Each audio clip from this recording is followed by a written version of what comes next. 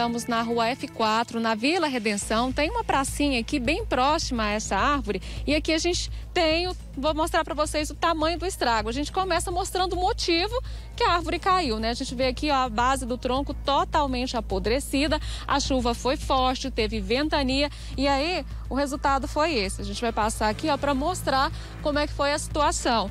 Ela caiu em cima do muro da casa, né? Acabou atingindo também a fiação elétrica, como nós podemos observar, tem galhos aqui na entrada do portão.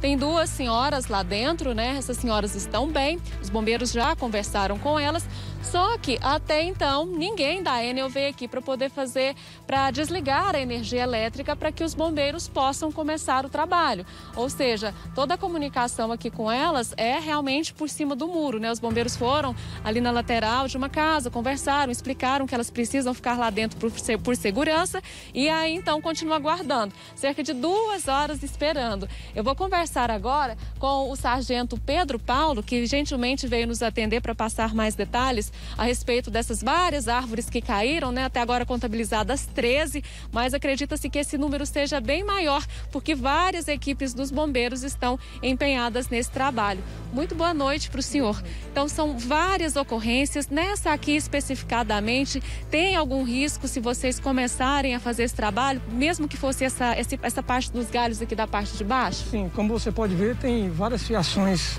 expostas em cima da árvore. E assim que a Enel chegar e desligar a rede, nós começamos a fazer o corte e a desobstrução da casa.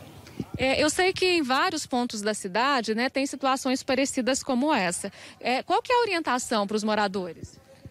Se tiver esse caso, fiação exposta, ligar para a Enel e para o 193. Aqui nessa rua, me parece que tem até um poste ali na parte de baixo que também foi comprometido, né? Parece que ameaça cair. Só o pessoal da Enel que pode dar esse veredicto para você. Ah, o senhor não observou ali embaixo que ele está rompendo, que está um pouco torto? Ou o senhor não chegou aí lá? Sim, por isso que estamos aguardando o pessoal da Enel. Certo. Aqui essas moradoras, né? Disse antes, um outro bombeiro havia me informado que conversou com as moradoras, elas estão bem, contaram alguns detalhes de como aconteceu, se ventou muito ou realmente não foi tanto vento, é porque a árvore realmente estava com a base comprometida. Não, não, não. Elas não informaram nada? Nada. Só que elas também já ligaram para a Enel, estão aguardando o pessoal da Enel.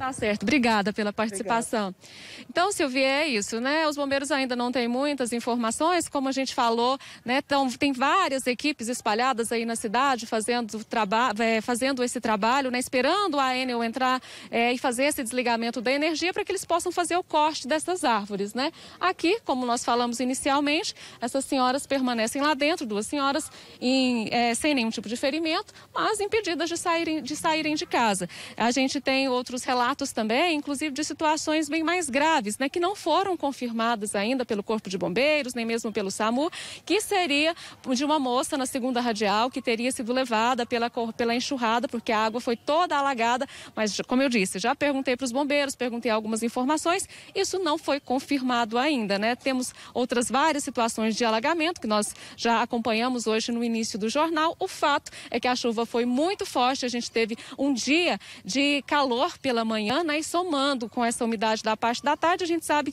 que sempre resulta em temporal. E esse ano, infelizmente, eles estão bem mais fortes e é preciso que as pessoas tomem cuidado.